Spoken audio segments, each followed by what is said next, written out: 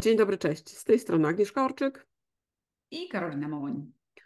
Witamy Was w kolejnym odcinku Coachek Rozmowy o i dzisiaj o mikrocoachingu. Temat wdzięczny, odmiana normalnego coachingu godzinnego lub półtora godzinnego, w zależności od, od coacha, Mhm. Em, ale temat też bardzo intrygujący ze względu na swoje, może trochę to tak nazwę, właściwości. Zresztą w naszej rozmowie będziemy starały się Was przekonać mm, do tego, że mikrocoaching ma sens, przynosi korzyści organizacji e, i że tak naprawdę e, czasami jest lepszym wyjściem niż standardowy coaching, e, czyli ten standardowy, czyli godzinny, Mhm. spotkania raz na 2-3 tygodnie. A dlaczego? No to myślę za chwilkę też o tym powiemy. Mhm. No to co? No, Od pierwszego pytania jedziemy, nie? Czyli tak wyjaśnić sobie, co to jest mikrocoaching? Karo, we- według Ciebie. co to jest mikrocoaching? Wiesz, to mikrocoaching, jak kiedyś o nim gadałyśmy i usłyszałam pierwszy raz to stwierdzenie, to mi się skojarzyło z czymś, co jest y, takim krótkim y, spotkaniem y, związanym z bieżącymi rzeczami. I trochę, Mhm. to się tak, trochę to się tak y, ułożyło, ponieważ ta definicja mikrocoachingu mniej więcej tak wygląda. E, Można przyjąć spokojnie, że to są 5-10 minutowe spotkania, w zależności na to, na co się umawiamy też z klientem, em, które mają taki sposób trochę nieformalny i odbywają się raz w tygodniu. Sumarycznie w miesiącu wyjdzie nam w totalu to samo, bo przypuśćmy, Mhm. mamy, nie wiem, jedną e, sesję w miesiącu trwającą godzinę, no to jeżeli Mhm. mamy trzy pięciominutowe sesje w tygodniu, przez cztery tygodnie, to wychodzi nam dokładnie na to samo. Mhm. Mhm. Tak to rozumiem. Tak, nie? To zdecydowanie prowadzi do tego, że ilość potencjalnych problemów czy wyzwań, z jakimi stoi lider, e, jest większa i zwiększa się pod, ilość, pod względem ilości rozwiązań, niż gdyby ten sam człowiek miał czekać na to spotkanie raz w miesiącu.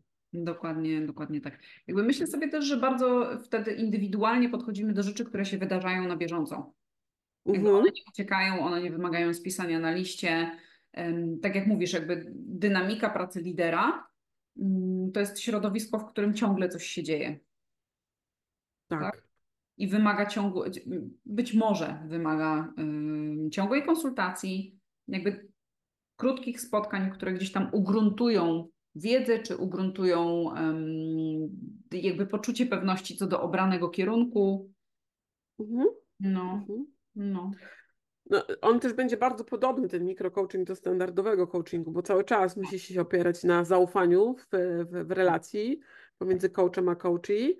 E, Też będzie skupiał się na tym, żeby wykorzystać cały potencjał klienta, z którym on wchodzi e, w proces. No i będzie też takim motorem napędowym do, do tego, żeby klient rozwijał się w, w tym obszarze zawodowym, ale też w osobistym. Mhm. Mhm. No. No, Dokładnie. tylko w mikrocoachingu będzie się to działo częściej, szybciej em, i może też w większej. mimo tego, że te okresy czasu pomiędzy spotkaniami będą krótsze, no Mhm. to ta intensywność w pytaniach, które sobie sam będzie realizował czy zadawał e, coachi, też będzie większa, tak? Czyli też może przyspieszyć na tych, e, w tych obszarach, w których on potrzebuje akurat tego, mm, tego wsparcia w danym momencie. Dokładnie No. Jakby myślę sobie też, y, jak Ciebie słucham w kontekście y, tej skuteczności w- właśnie w organizacjach, że ona ma szansę być naprawdę duża, jeżeli jest dobrze, jeżeli- rola coacha jest dobrze wykorzystana. Mhm. Mhm. Faktycznie, y, to faktycznie też jest kluczowe i dobrze jest zrozumiana. Tak, to jest też, y, to- jest też ten element, który, y, na który warto zwrócić y, w tym przypadku uwagę. Mhm. Mhm. No to co, jeśli chodzi o mikrocoaching, to jakie nam się takie kluczowe elementy, które tutaj e, pojawiają? Co jest taką istotą tego, tego mikrocoachingu, Karo? Wiesz co, na pewno takie, um, można dokładnie nazwać spersonalizowane podejście. Mhm. Tak? E, czyli jesteśmy tu i teraz, skupiamy się na tym, co się wydarza w tym momencie, co jest e, źródłem tak naprawdę ewentualnych problemów, kryzysów i tego typu kwestii. Tak? Czyli jakby to jest, to jest tu i teraz i to jest podejście skupione na osobie lidera. To, co powiedziałyśmy w kontekście, wiesz, też definicji, krótkie i regularne interakcje, tak? Bo my mamy, my mamy ten czas w tygodniu przeznaczony na, na te spotkania, na te krótkie spotkania i z niego korzystamy. One są w pewien sposób planowane, mm, są ustandaryzowane, tak można śmiało powiedzieć. Mm, więc też daje to poczucie bezpieczeństwa y, coachi do tego, że gdyby coś się wydarzało, to zawsze jest ten backup, z którym można to y, przegadać. Wiesz, narzędzie jest rozwojowe, więc ciężko by było tutaj pominąć też kwestię rozwoju umiejętności i tego, jak reagować w sytuacjach trudnych mm, i jak skutecznie podejmować decyzje, więc czysto, y, czysto, czysto rozwojowy temat. I myślę sobie, że też coś, co jest istotne w kontekście mm, mikrocoachingu, to jest też osiąganie celów, bo one mhm. dokładnie są, cele są bazą do pracy w coachingu. Mm, dzięki mikrocoachingowi możemy je osiągać w dość krótkim czasie przez regularność tych spotkań, mm, przez ich dynamikę. E, jest szansa na to, że te cele czasem długoterminowe też będą osiągane bardzo regularnie, krok po kroku, y, krok po kroku. No mhm. i mm, sytuacja, w której tak naprawdę mamy firmę, która przechodzi przez jakieś transformacje, zmiany i tego typu kwestie. Coach też w, mm, na bazie mikrocoachingu będzie wspierał adaptację y, lidera, przez co lider będzie wspierał adaptację zespołu do tych zmian, do tych potrzeb, które się pojawiają w organizacji tak? Więc, y, więc tak to widzę. Mhm, mhm. E, a jakie formy mikrocoaching może przyjąć? Czy w jakich formach może być realizowany? Wiesz co, jak sobie wyobrażam, y, to dla mnie to jest szybki telefon. Mhm. Mm, dla mnie to jest nagranie wiadomości na WhatsAppie, mhm. Mm, co też pozwala bardzo ładnie monitorować czas, który przeznaczamy faktycznie na odpowiedzi i na interakcje w tygodniu. Mhm. E, bo, widzimy, bo widzimy w wiadomościach głosowych, ile tam e, jest e, na to czasu przeznaczonego. Hmm. Chyba bym się nie pokusiła o stwierdzenie, że mail, chociaż wiem, że to też funkcjonuje, ale mhm. ja bym wolała interakcję, czyli albo, albo mhm. telefon, albo głosówka. Mhm. Słyszysz wtedy Y, y, emocje, słyszysz ton głosu, słyszysz drugą osobę i możesz w jakiś sposób interpretować to, co się dzieje. Mhm, mhm. A Twoim zdaniem? Ja dopuszczam jeszcze wideo, czyli na przykład łączymy się na jakieś takie, umawiamy się na jakieś, wiesz, te 5-10 minut. Tak, no, no. Nie? no. E, ale czasami zdarza mi się też, czy i czasami zdarza mi się też dopuszczać SMS-a. Nie? Mhm. Bo to będzie wtedy taka ad hocowa e, interakcja, która nie wymaga też Mhm. jakiegoś odejścia od obowiązków, czy wyjścia z tych zadań, w których jesteśmy, a jeśli jest myśl, no to zawsze można szybko na nią, do niej dojść, nie? Mhm. Więc czasami też SMS. Okej. No. No dobra, a z punktu widzenia organizacyjnego, mhm. co może dać stosowanie coachingu, y, mikrocoachingu, przepraszam, no widzisz. Znaczy na pewno to samo co coaching, nie? Czyli no. też wpływa na to, że buduje lider silne relacje z zespołem, mhm. ale dzięki mikrocoachingowi może to robić e, częściej i mieć bardziej takie mm, spersonalizowane interakcje ze swoimi członkami zespołu. No i też adaptować się do poszczególnych sytuacji, tak. czyli po prostu reagować szybko nie? do tego, co się, co się dzieje, co, co występuje. Mhm. Na pewno też dzięki tym interakcjom i dzięki temu dobremu zarządzaniu lider może wpłynąć na zwiększanie, mm, na poprawę wyników. I na zaangażowanie pracowników w pełnione e, zadania, bo dzięki mikrocoachingowi e, szybko reaguje mhm. i idzie w tym kierunku, w którym chce, czy nawet w tym kierunku, w którym idzie pytanie współpracownika, czy mhm. też ten wyznaczony cel, który dostał od swojego tak. y, przełożonego. No i to wszystko, no bo oczywiście coach wspierając mm, coachiego w trakcie procesu, też pracują obydwoje na rzecz organizacji. Czyli mając z tyłu głowy cele, misje i poszczególne jakieś długoterminowe czy krótkoterminowe cele, no to też będą szli mhm. tam razem. E, I też e, lider, mając to na, na uwadze, też będzie wnosił oczywiście do mikrocoachingu te najbardziej pilne mhm. rzeczy do, do zmiany. Mhm. No. Czyli efektywność jest nie tylko dla lidera, ale tak naprawdę dla zespołu, dla organizacji i można powiedzieć też dla jej celów. Śmiało. Mhm. No. Tak, tak.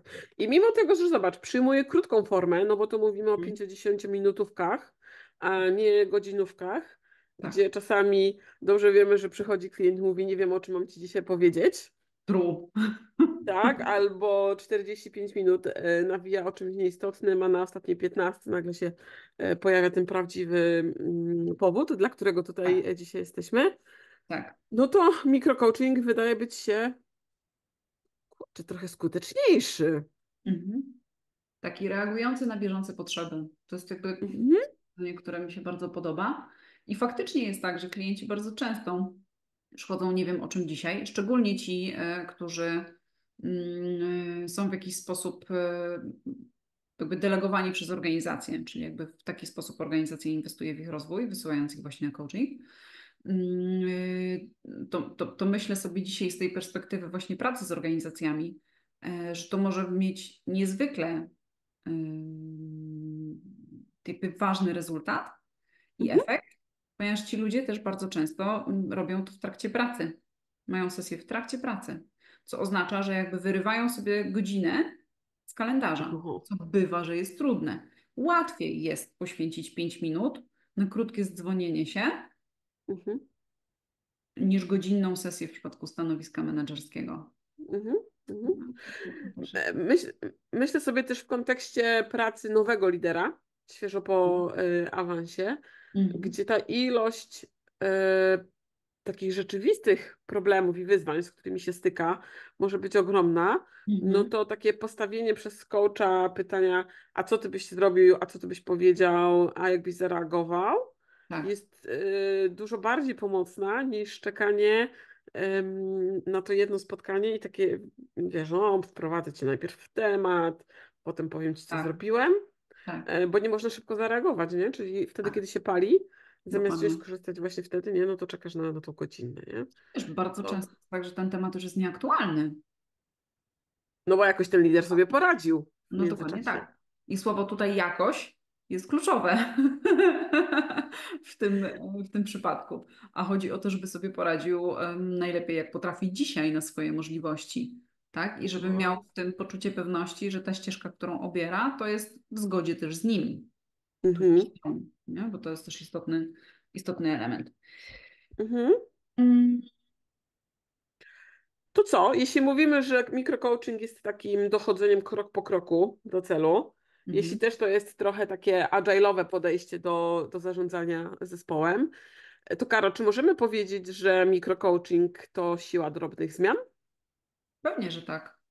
Zdecydowanie tak bym nawet powiedziała. E, I to może być druga definicja mikrocoachingu, dlatego że mhm. mm, opierając się chociażby na mm, liderze, który wchodzi dopiero w nową rolę mhm. i tak naprawdę no coś wie, ale ta wiedza jeszcze nie jest wiedzą praktyczną, e, to nie jest wiedza, którą miał okazję zastosować, to ta metoda małych kroków będzie nam dawała bardzo widoczne rezultaty dość krótkim tempie, bo wiedzie nam tam kwestia związana chociażby z delegowaniem zadań, co jest w teorii bardzo prostym tematem, w praktyce wszyscy się tego boją. Mają po prostu jakby, nie powiem co gdzie, bo to byłoby trochę brzydko, natomiast y, w pewien sposób usztywnia y, y, lidera konieczność delegowania. Druga strona medalu jest taka, że ja lepiej zrobię sama. No, pierwsze najważniejsze zadanie lidera, no, delegowanie. No, tak, więc to jest, też, to jest też taki element. Kolejną kwestią e, jest kwestia tego, że lider wystawiany jest na no, widok publiczny. Mhm. Tak? Jest wystawiany przed szereg. Jeżeli jego stanowisko e, wymaga prezentacji, wymaga szkoleń, chociażby wymaga wdrożenia nowych pracowników, to też jest wystawianie się na, na w pewien sposób prezentację publiczną, no to to też jest taki element, który w mikrocoachingu się zadziewa i który spokojnie można przepracować. I on też będzie kolejnym mikrokrokiem do tego, żeby stawać się coraz lepszym w byciu liderem. Mm -hmm. Zespół bez konfliktów nie istnieje, umówmy się. Wiadomo. Lider bez umiejętności rozwiązywania konfliktów może mieć kłopot w skutecznym zarządzaniu zespołem i to, i to też dobrze wiemy. I to nie zawsze będzie tak, że zespół poradzi sobie ze swoimi konfliktami, bo ludzie dorośli powinni się komunikować i powinni umieć rozwiązywać konflikty we własnym gronie. Natomiast będzie zdawać się sytuacja, w której to lider musi wkroczyć i lider musi e, w pewien sposób podjąć decyzję i być trochę mediatorem, czasem rozjemcą.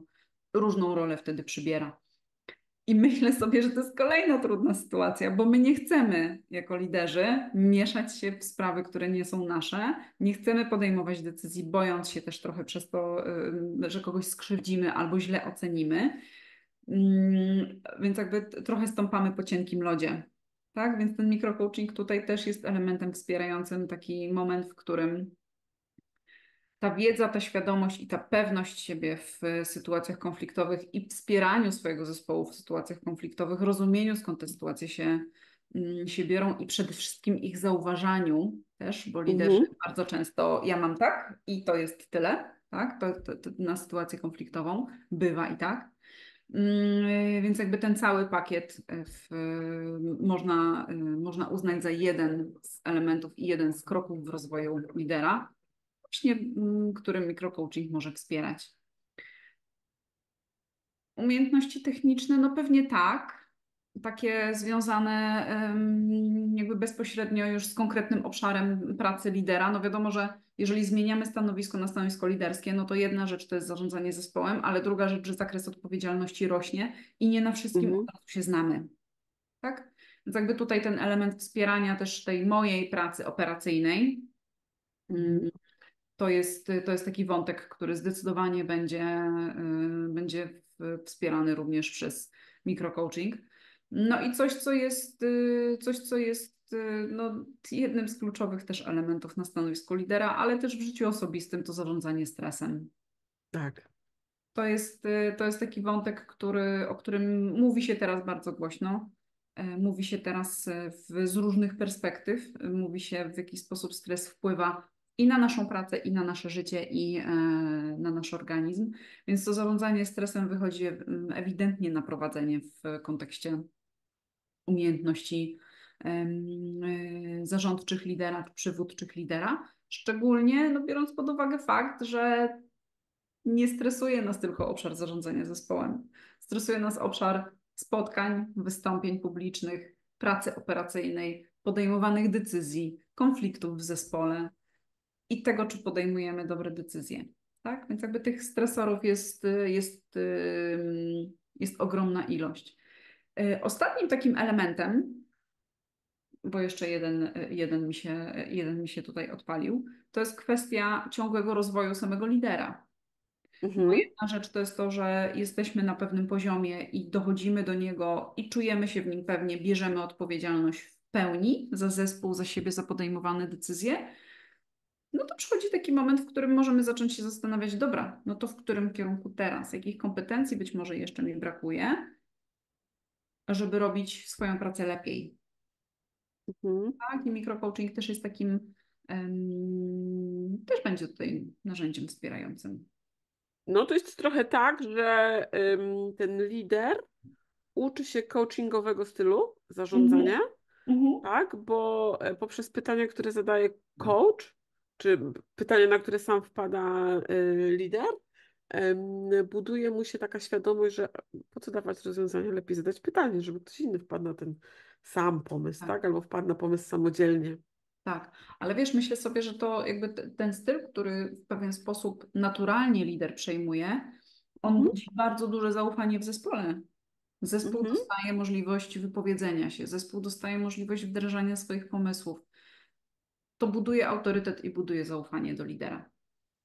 I to jest tak. wartość nieoceniona, szczególnie dzisiaj, gdzie ciężko nam znaleźć z dobrych specjalistów, ciężko nam y, utrzymać y, zespół tak, żeby on był zespołem dobrze funkcjonującym i żeby te wszystkie fazy formowania się zespołu przeszły i żeby ta normalizacja w końcu nastąpiła.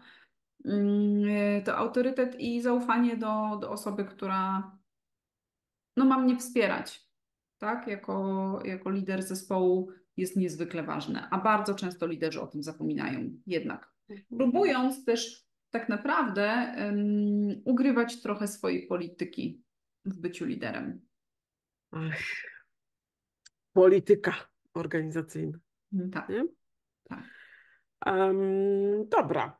Um, wiemy też, że coaching nie będzie miał szansy zaistnienia w, w organizacji, czy nawet y, już ta, ta forma mikrocoachingu, która jest naszym tematem dzisiejszego odcinka, e, jeśli sama organizacja też nie będzie kultury coachingu w jakiś sposób e, wspierała. Mhm. Tak. I w tym przypadku możemy mówić o takich czynnikach wspierających, oczywiście i o czynnikach hamujących. Um, coś, co może nam jednoznacznie pomóc lub mhm. przeszkodzić w mhm. tym, żeby lider wyciągał dla siebie jak najwięcej z takich e, spotkań. Mhm. Zacznę od tych hamujących, bo myślę, że one są dużo bardziej e, popularne i częściej tak. i szybciej je znajdziemy we, tak. własnych, e, we własnych organizacjach. czyli takimi barierami, tymi czynnikami hamującymi e, będą na pewno brak czasu. No tutaj mniej więcej od tego czynnika zaczęłyśmy. Tak? Dużo prościej jest tak. znaleźć 5-10 minut niż 60 w ramach rozwoju osobistego.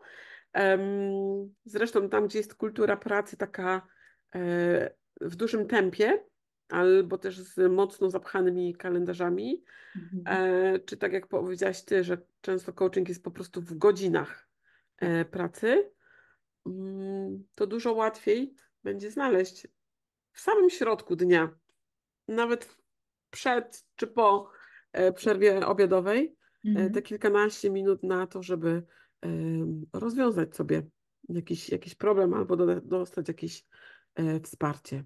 Dokładnie. Mhm. Innym takim czynnikiem hamującym na pewno będzie tych brak umiejętności coachingowych, ale to też wynika z tego, że organizacja nie będzie miała tej kultury e, coachingowej wdrożonej, czy, nie, czy będzie bardziej skupiona na rozwiązaniach niż na mm, pytaniach, mhm. E, jak dotrzeć do, do celu. Albo też będzie bardzo taka skoncentrowana na e, twardych danych, danych liczbowych. Gdzie, skoro nie dostarczasz wyniku, no to nie masz na co, e, na co liczyć, tak? Czy mhm. jeśli wyniki będą przemawiały za Twoimi działaniami, to dopiero wtedy możesz dostać nie wiem, w nagrodę, tak? tak? Albo w ramach, w ramach tego rozwoju. Co znowu jakby zderza nas z, z coachingiem i z tymi e, efektywnymi, e, i z tymi Mm, elementami, że rozwój lidera coachingu mhm. czy w mikrocoachingu będzie miał bezpośrednie przełożenie na e, zespół, na to, jak tak, on działa. Zawsze. Tak, tak. tak. Mhm. E, jeśli też nie będzie mm, odgórnej, czyli tam od A-level, zgody mhm. na to, mhm. żeby zadawać pytania, czy starać się wolniej może czasami docierać do celu. W tym kontekście, że spotkam się z zespołem i zapytam ich o zdanie, a nie od razu podam rozwiązanie, mhm. no to też nie będzie dobrego, dobrej atmosfery budowanej wokół e, mikrocoachingu, coachingu i rozwoju osobistego e, liderów. I tak samo, jeśli kultura organizacji e, będzie skupiała się wokół tego, że zarządzamy poprzez strach i zarządzamy poprzez konflikt, no to mhm. sorry, tam nie ma miejsca w ogóle na to, żeby stanąć i rozejrzeć się. Dokładnie. Nie? Jak wyjść z danej, z danej opresji. Dokładnie. Tam będzie ciągle ucieczka. Tak, no. dokładnie tak będzie. No. no. no ale bariery nie są jedynymi. No właśnie, tak jakby, żeby nie było tak, że tak powiem, tragicznie, nostalgicznie i źle, e, to są też takie czynniki jednak wspierające mm, organizacje, mhm. Y, które dzięki mikrocoachingowi mogą się rozwijać i mogą istnieć i są bardzo w organizacji przydatne i potrzebne. Myślę sobie, że w pierwszej kolejności e, warto wspomnieć o e, kulturze zaufania. Mm, to już trochę, trochę, o tym, e, trochę o tym mówiłam. Natomiast poczucie swobody pracowników, tak, że mogą dzielić się informacjami, dzielić się wiedzą, co będzie sprzyjało efektywności, nie ma rywalizacji, nie ma takiego, takiego, wiesz, takiego dążenia do celu po trupach.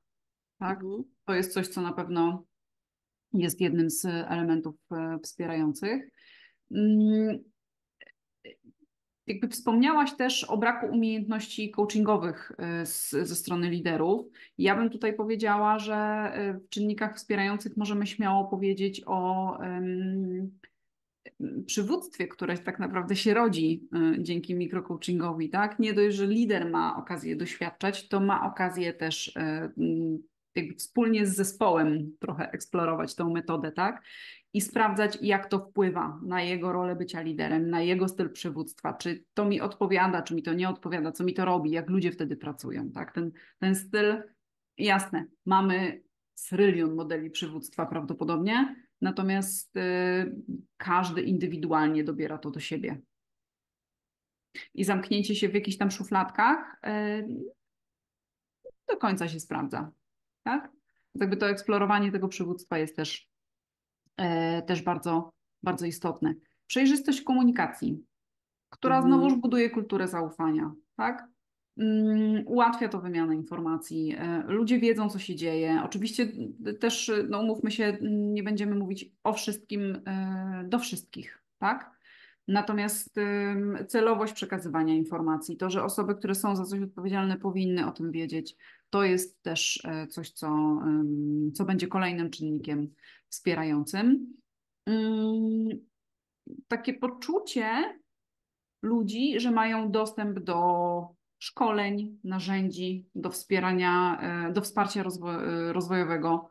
Mm, mikrocoaching też jakby wspiera takie podejście tak, w, w organizacjach. I to trochę na szerszą skalę, kiedy przyjmiemy, że lider, któremu, który będzie w jakiś sposób uznawał tą metodę za skuteczną, będzie ją wdrażał w swoim zespole i w swojej organizacji. No i cóż, myślę sobie, że takim ostatnim elementem jest też e, jakby otwartość e, organizacji na rozwój osobisty ludzi, tak? I dawanie im możliwości wzrastania, dawanie im możliwości osiągania celów.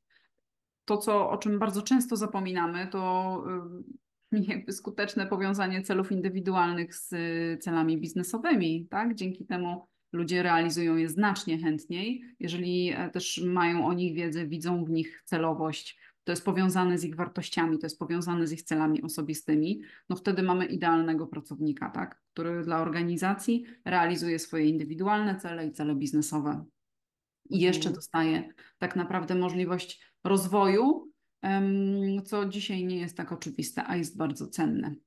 Mhm. Mam też takie wrażenie, że wychodzimy z takiego punktu um, ciekawości.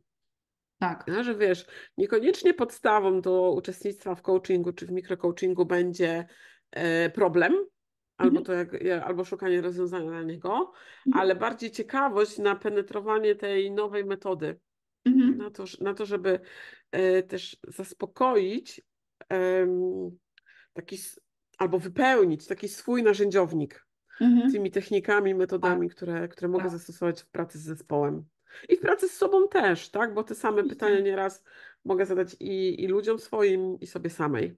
Tak. Tak, ja uwielbiam jedno pytanie, które łazi za mną e, non-stop i jak mam taką sytuację, w której się zastanawiam, czy w prawo, czy w lewo, czy w ogóle co się wydarzyło, to najbardziej skutecznym dla mnie dzisiaj pytaniem jest to, co z tego dla mnie. Mhm. Tak. To jest w ogóle dla mnie taki game changer, że no, mózg wtedy po prostu petarda. Petarda. Paruje. Paruje, dokładnie tak. Ale wiesz, jakby jedna rzecz to jest to, że tworzymy kulturę zaufania, tworzymy kulturę, która jest, y, która sprzyja rozwojowi, a jak to się ma do wyników finansowych? No. Czy to ma jakieś przełożenie w ogóle?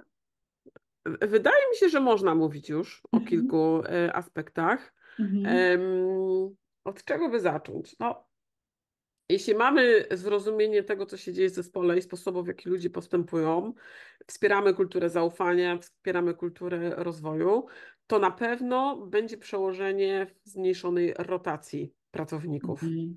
Tak, ten zespół Tak. będzie na dłużej, no bo jakąś relację tam sobie wybuduje, e, też będzie bardziej gotowy do tego, żeby sobie em, poprzez zaufanie swoje, żeby dać sobie czas na to, żeby jakiś problem się rozwiązał albo sobie sami rozwiązali. Nie? E, Na pewno też mikrocoaching, biorąc pod uwagę tą prędkość adaptowania się i e, tą szybkość reagowania na daną sytuację, wpłynie też bezpośrednio na relacje w zespole, tak? No bo Mhm. tutaj nie, nie trzeba dużo mówić. Em, Można czy rozwiązać problem, czy zaspokoić potrzebę, czy znaleźć jakieś inne rozwiązanie, mniej więcej już tu teraz, na, na miejscu, nie? A to zaś nam wpłynie bezpośrednio na satysfakcję ludzi z pracy, no bo są wysłuchani, ich problemy są, ich e, propozycje są brane e, pod uwagę, a więc mają też jakąś moc sprawczą e, i Dokładnie. mogą e, później otrzymać e, czy pochwałę, czy jakąś nagrodę z, z tytułu swoich e, pomysłów. E, I dzięki temu Totalnie tak jak w e, naszej piramidzie Lencioniego, tak? I w tych etapach budowania efektywnych zespołów. To sprawi, że każde, każde czy zadanie Mhm. nie będzie traktowane jako problem, tylko jako wyzwanie. Tak. Jak je dzisiaj zrobić, żeby zaadaptować się szybko do zmieniającego się środowiska, no bo nam się szybko czasy zmieniają, jednocześnie pamiętając, e, że business go first. Tak, Nie? I ja też mam jakieś swoje No. cele w tym. tak. Nie? Czy cele, czy KPI postawione. Mhm. No i zobacz, no i przechodzimy, czy generalnie od jednostki przez zespół, przechodzimy do Mhm. organizacji, no Tak. bo wtedy nam się poprawia całkowicie klimat w, w organizacji e, i bardziej jest ten wspierający, rozwijający, e, pomagający osiągnąć też cele indywidualne, niż taki budowany na zasadzie tu masz KPI, tu masz czas i masz to zrobić. Mhm. Dokładnie, dokładnie tak jest. Zresztą myślę sobie jeszcze o tych kosztach rotacji, nie? że bardzo często nie zdajemy sobie, tudzież y, organizacje y, nie zdają sobie sprawy, co się tak naprawdę na ten koszt rotacji składa, bo wydaje mi się, że wiesz, że to jest co tam zatrudnić nowego człowieka, to jest moment, no pewnie trzeba będzie go jakoś przygotować do pracy, ale nie za długo, to szybko pójdzie. Dzisiaj rekrutacja od 3 miesięcy do 6 miesięcy to jest standard. Mhm. Więc masz już utratę w, w pewien sposób y, ciągłości wykonywania obowiązków. Ogłoszenia, czas rekrutera, onboarding, druga osoba, która musi być zaangażowana w ten onboarding, badania, ewentualna odzież. Jakby to jest naprawdę suma, która rocznie spokojnie może się, y, może sięgać y, kilkuset tysięcy mm, złotych. Więc No, generalnie no mówimy o okresie e, 6-12 miesięcy, tak? Rekrutacja plus onboarding, no to będzie Tak, w też zależności między od stanowiska, nie? 6, no no, i im wyżej, tym tak naprawdę trudniej i drożej. i drożej. Dokładnie, dokładnie tak jest. No i jakby wiesz, frustracja ludzi też rośnie w organizacji, bo ktoś tą robotę musi zrobić. Mhm. No, taki, Tak. taki element. Więc to warto zawsze patrzeć z szerszej perspektywy faktycznie, bo finansowo to się po prostu nie opłaca. To się po prostu nie opłaca. Co, lubimy mikrocoaching, co? E, no pewnie. No, no. Jakoś, Tu e, dopiero efekty widać, co? Tak, jakoś, jakoś czuję, że to szybciej, że to sprawniej, że to bardziej dynamicznie, że to ma sens, y, może mieć większy sens, szczególnie na początku drogi lidera. Mm, No i bardzo użyteczne. Bardzo, bardzo. Mhm. Bardzo. No. Więc polecamy. Zachęcam. E, myśl, myślę, że dzisiaj e, bardziej się, no w moim przypadku, mikrocoaching się pojawia pomiędzy sesjami, kiedy ja też Mhm. jestem dostępna dla, e, dla swoich coachi i dla swoich mentee. Nie wiem czemu niewiele osób z tego korzysta. Jakby wiesz, trochę się czy bali, czy wstydzili. Mhm. Mhm. E, A ci, co korzystają, no to widzą efekty, tak? Czy nawet Tak. się chwalą. Poszedłem na rozmowę, dostałem podwyżkę dwa, dwukrotnie taką, jak, jak oczekiwałem, czy zrobiłem tam jakiś krok do przodu. E, Więc naprawdę dla samego coacha to też jest taki, takie kolejne piórko do tych naszych skrzydeł w tym pomocowym e, zawodzie, Tak. że faktycznie potem chce nam się lecieć. Tak, bo jakby, wiesz, to poczucie takie właśnie przyszło do mnie ym, sukcesu moich klientów, tak? Z którymi, ym, których często tak wewnętrznie, mentalnie po prostu wspieram. I Mhm. wierzę w to, że mogą, nie? I, I faktycznie mogą. I faktycznie mogą, i to się dzieje, i wtedy to jest takie miłe uczucie, że wtedy widzimy, że ta praca ma sens. Mhm. I daje, daje sporo, potrafi dać sporo satysfakcji. No, fajnie. No to co? Tym samym, e, tym samym zapraszamy też do korzystania z mikrocoachingu. Zapraszamy też do przekonywania zarządów, że warto w mikrocoaching zainwestować. E, Jeśli nie byłby zarząd taki pewien, to dajcie znać. My wiemy, jak z zarządem rozmawiać, jak ich e, przekonać do tego. E, I mam nadzieję, że gdzieś nasze drogi się mm, złączą, przetną. Tak, dokładnie tak. I oczywiście e, niezmiennie zapraszamy Was do subskrybowania naszego kanału, dawania kciuków w górę, żebyśmy wiedziały, że te treści Was interesują. No i e, nareszcie e, w końcu ziściło się marzenie. Zapraszamy Was również na naszą stronę internetową, na której będziecie mogli zobaczyć konkretnie w jakich obszarach pracujemy i w czym możemy Was wspierać. Strona to mołońorczyk.com i tam Was zapraszamy. Za dzisiaj dziękujemy. E, Za dzisiaj dziękujemy i zapraszamy na kolejny odcinek. Dokładnie tak. Trzymajcie się, cześć. Do zobaczenia. Hej.